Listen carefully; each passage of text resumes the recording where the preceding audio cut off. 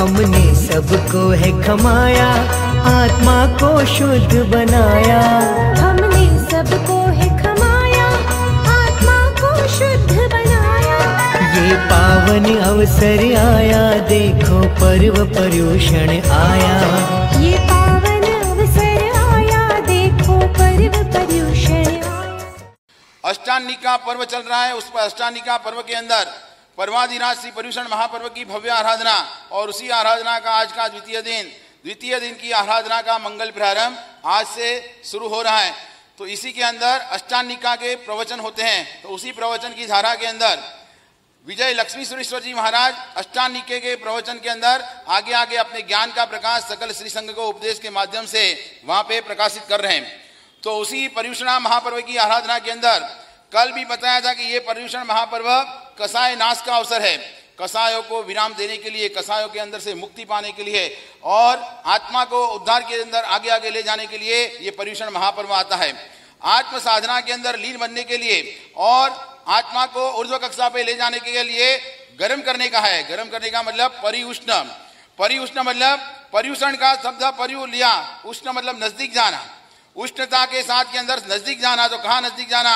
तब धर्म की साधना और आराधना करने के बाद पर्यूषण मतलब पर्यु मतलब नज़दीक जाने का तो नज़दीक किसके नज़दीक जाने का? आत्म घर के अंदर नज़दीक जाने का। और उष्णता किससे करने की? तब धर्म की साधना करके आत्मा को तपाने का है। तब धर्म की आराधना करने से आत्मा तपता है और जैसे जैसे तपता है वैसे वैसे कर्मों का क्षय होते जाता है। जो कर्म रहते हैं, अशुभ कर्म, उस अशुभ कर्मों का नाश होता है।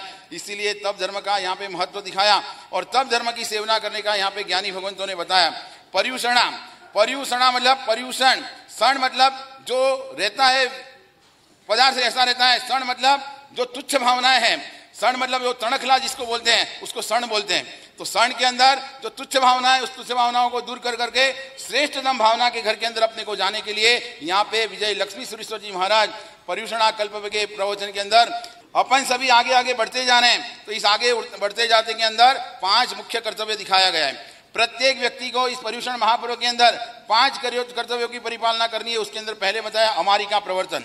अमारी का प्रवर्तन यानी हिंसा से विराम पाना है, हिंसा को रोकनी है, हिंसा के विचार को प्रवेश नहीं करने देना है और अहिंसक भावना के अंदर अपने को प्रवर्तन करना है और जहाँ पे भी हिंसा होती है, वहाँ पे अपने तन से, मन से और धन से उस जीवों की रक्षा करने के लिए अपने को कटिबद्ध बन के अपने आप पूरा प्रयास कर करके जीवों की हिंसा को रोकना है। दूसरे नंबर के अंदर जो विवेचना करनी थी, वो आज अपन विवेचना करेंगे, साधर्मिक ना सगपण समूह अवर्ण सगपण कोई।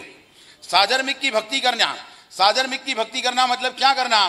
साधर्मिक आए तो उसको भोजन करा देना और टीका करके निकाल देना, भेज देना, ये साधर्मिक भक्ति हो गई। ये सामान्य व्याख्या ये है कि समानो धर्मो यश साधर्मिक। ये अपन यहाँ पे जितने भी आप सब बैठे हुए हैं, सब साधर्मिक हैं। साधर्मिक बंधु कैसे हैं? एक ही समान धर्म की आराधना प्ररूपणा कर रहे हैं। तो इसीलिए समान धर्मी है, मगर इसके अंदर भेद क्या है? एक धनपति है, धनवान है, दूसरा उससे थोड़ा कम है, तीसरा उससे कम है, चौथा एकदम निम्न स्तर पे है। तो फिर भी यहाँ पे क्या किया? ऑल आर इक्वल सबको एक समान कहा गया है। सभी साधर्मिक बंधु हैं। तो ऐसे साधर्मिक बंधुओं के अंदर साधर्मिकों का उद्धार करने की बात यहाँ पे बताते हैं। साधर्मिक के जीवन के अंदर उसके अंतराय कर्मों के कारण उसके पास इतनी सामग्री नहीं है, इतनी विपत्ति आ रही है। प्रयास करते करते भी उसको आगे उठने का मन होता है मगर उठ नहीं पाता है। तो उसके जीवन के अंदर सहाय करना, उसको मदद करना और उसी के जीवन के अंदर वापस वो उत्थान के अंदर आ जाए, ऐसा प्रयोग करना। और तीसरे नंबर के अंदर अट्ठम की बात बताई थी।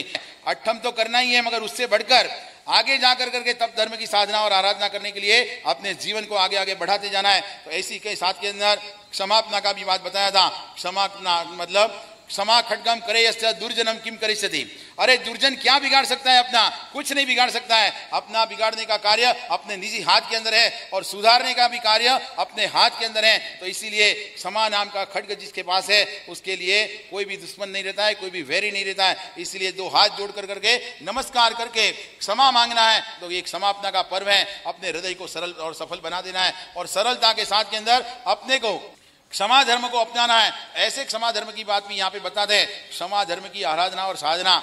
गुरु गौतम स्वामी जी आनंद श्रावक के सामने जाकर के मिच्छामी तुकड़म देते हैं। अपने हृदय के भावों को एक मन बचपन बना के ला कर करके बालक के भाव के अंदर जाकर करके श्रावक को भी क्षमापना देते हैं। श्रावक भी सोच रहा है कि वाह, कैसे धन भाग्य मेरे। ऐसे महान गुरु मुझे मिच्छा मित्र गुरु मेरे वो भी चौदह आँसू करके, चरण के अंदर आँसू से प्रक्षालन कर करके वो भी क्षमा मांग रहा है कि मेरी भी कोई गलती हो गई तो मुझे माफ़ कर देना। ये तीसरे के अंदर बताया हुआ है, समापना का।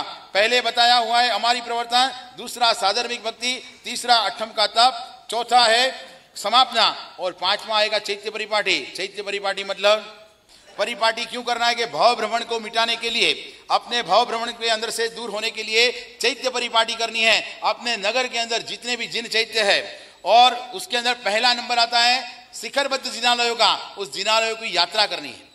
चैत्य परिपाटी मतलब उस जिन चैत्य के अंदर विराजमान तीर्थंकर परमात्मा की प्रतिमाओं का दर्शन, पूजन और भक्ति कर करके उसका आनंद लेना है, उसकी भक्ति करना है, इसीलिए चैत्य परिपाटी परिपाटी भी करना है, पक्ष से चल कर करके जाना है, पाँव से चल कर करके जाना है और चैत्य परिपाटी करके सभी जनालयों का दर्शन करना है।